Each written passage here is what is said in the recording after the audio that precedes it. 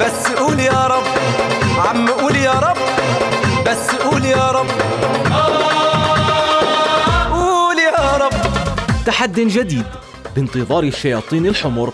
نادي الجزيرة. في مهمته الأسيوية المقبلة من خلال مشاركته في بطولة كأس الاتحاد الآسيوي لكرة القدم للمرة الأولى في تاريخه. اعتذار الفيصلي عن المشاركة في هذه البطولة القارية أفسح المجال للجزيرة لخوض هذه التجربة التي تحتاج للتخطيط والإعداد المثالي للظهور المشرف في هذا الحدث القاري. القرعة أوقعت الجزيرة في مجموعة تضم كلا من الشرطة العراقي ووادي النيس الفلسطيني والفائز من ملحق الحد البحريني وناد من طاجيكستان مجموعة تعتبر إلى حد ما متوازنة لكنها بكل تأكيد ليست بالسهلة. تاريخ هذه البطولة يحمل ثلاث نسخ حازت عليها الأندية الأردنية بعد أن توج بها الفيصل مرتين.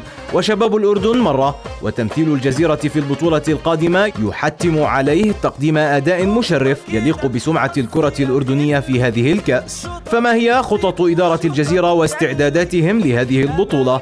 أسئلة يطرحها الشارع الرياضي الأردني ونحن بدورنا في إكسترا تايم نعرضها لضيوف حلقة هذه الليلة للإجابة عنها. وأنا أقول يا رب. قول يا رب.